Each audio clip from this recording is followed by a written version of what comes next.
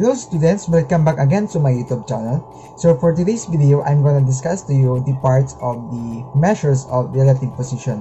So and that is the percentile, the quartile, and the decile.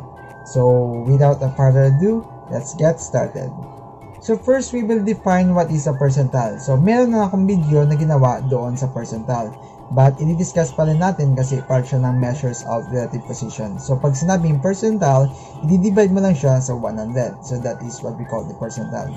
Another one is, for example, um, the 25 percentile means that you are lower than the 25% of the population. So, again, 25 percentile means that you are lower than 25% of the population. So we have here example of percentile. For example, the 75th percentile SAT score for an incoming freshman is 14,000. Okay, so pag sinabing 75th percentile, it means na yung 75% of students scored 14,000 or below. And then yung kulang niya, that is 25%, it means to see naman yung 25% of students scored above the 14,000. So we have here another example of percentile. So we have the 70th percentile is a data point where 70% of the, entire data is less than or equal to that data point. So it also means that 30% of the data is greater than or equal to the data point. So we have the graph para mas lalo maintindihan nyo. Yung 70th percentile, it means to say yung 70% ay yung below niya or less than doon sa 70%. And then, yung kulang naman niya is what we call the 30% and that is yung score naman niya pataas. And that is all about the percentile. So now, let's proceed to quartile. So pag sinabing quartile, i-divide mo lang yan sa apat. So that is quartile quarts that is equal to 4. So ibig sabihin, you will divide the set of scores into 4. So we have the first quartile, second quartile, and then we have the third quartile. So the first quartile is equivalent to 25th percentile. So pakitandaan yung first quartile is, is 25th percentile. Yung, yung second quartile naman is 50th percentile while the third quartile naman is yung 75th percentile. So pakitandaan, ilan yung first quartile? That is very good, 25th percentile. Paano naman kapag 50th percentile? That is equivalent to second quartile. And then, third quartile ay Yes, very good. That is 75th percentile. So, ganun lang siya. So, ngayon, proceed tayo sa decile. So, pag sinabing decile naman, i-divide mo siya sa 10. Okay? So, you will divide the set of scores into 10. So, first decile is equivalent to 10th percentile. And then, the second decile is equivalent to 20th percentile, then the third decile is equivalent to 30th percentile, and so on and so forth. So, ganun na siya. I-divide mo lang siya sa 10. That is what we call the decile. So, meron tayong ditong number line para mas lalo ninyo maintindihan yung concept ng quartile, percentile, tsaka decile. So, ulitin natin yung quartile, dinidivide siya sa 4, and then yung percentile naman, ay divide mo siya sa 100.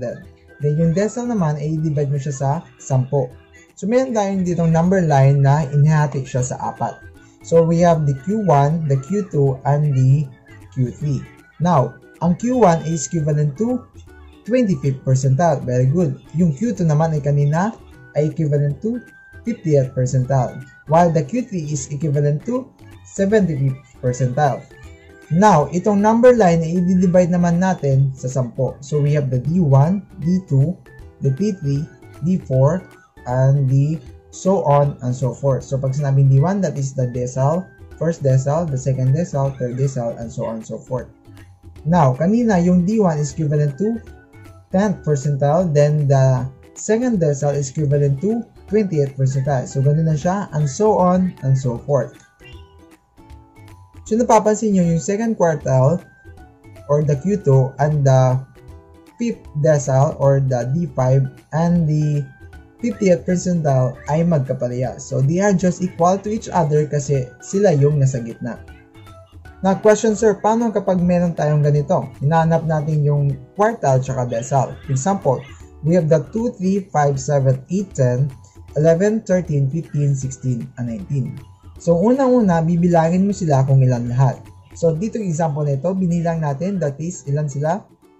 It's very good. that is 11. So malaman na kagad yung gitna.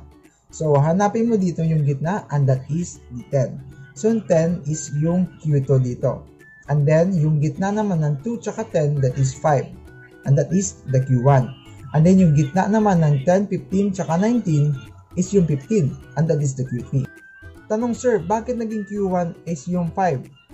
So bakit ba? So meron tayong formula para mahanap yung Q1. For example, ang Q1 is equivalent to 25th percentile. So we have the formula, location uh, LK, yung, uh, L is yung location, this yung K yung uh, given data. And then K all over sa 100 times N plus 1. So, inahanap natin is yung 25th percentile. So, we have the L25 equals to 25 all over sa 100. And then, we have the N plus 1. So, ilan lahat? That is 11. So, 11 plus 1, that is 12. Now, so 12 times 25 and then i-divide mo siya sa 100, that is equivalent to 3. Or, ibig sabihin, nasa third place siya. So, ano yung pangatlo doon sa dataset? So, that is the 5.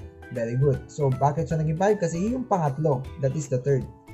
Now, sir, paano naging Q2 yung 10? So, meron din tayong formula. So, susundin mo lang yung formula or yung ginawa natin kanina.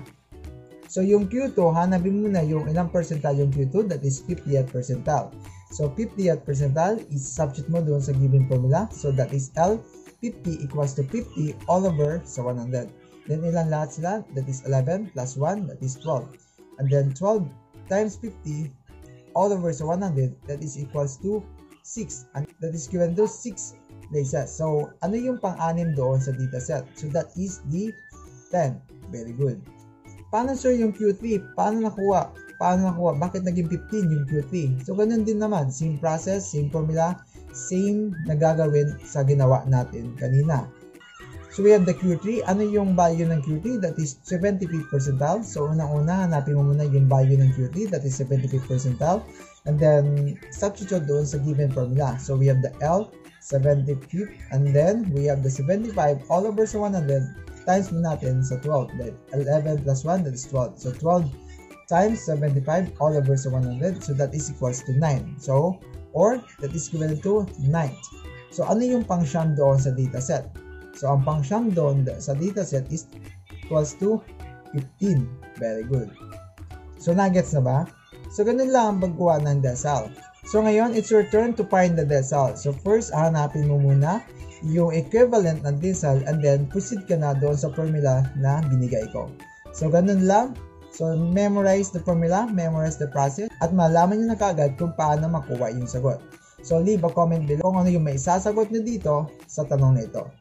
So that's all for it for now. So I hope you understand my topic. So feel free to ask questions or clarifications in the comment section. So that's all for it. Goodbye.